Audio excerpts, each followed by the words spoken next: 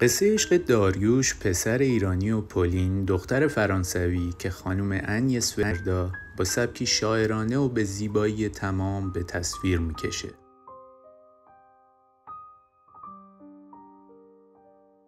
فیلم یکی آواز می‌خونه و دیگری نه ساخته سال 1355 کشور فرانسه است که ماجرای تجربه عشقی سوزان و پولین دو تا دوست جوون رو روایت می‌کنه که هر کدومشون زندگی متفاوتی رو تجربه می‌کنن.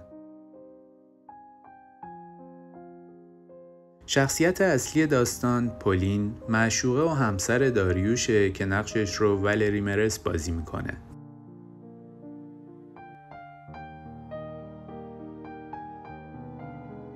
نقش داریوش رو هم علی رفیعی هنرپیشه و کارگردان ایرانی بازی می‌کنه. پولین و داریوش تو آمستردام هلند با هم آشنا میشن و بعد از اینکه مدتی رو تو فرانسه میگذرونن به ایران میان و تو تهران با هم ازدواج می‌کنن.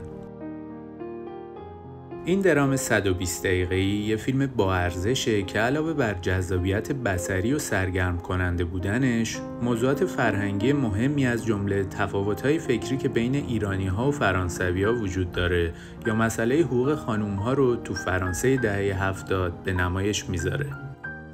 بهتون پیشنهاد می‌کنیم که به تماشای این ویدیو اکتفا نکنید و همونطوری که خود کارگردان میگه داستان لذت و عشق تو ایران دهه 50 رو به صورت کامل تماشا کنید.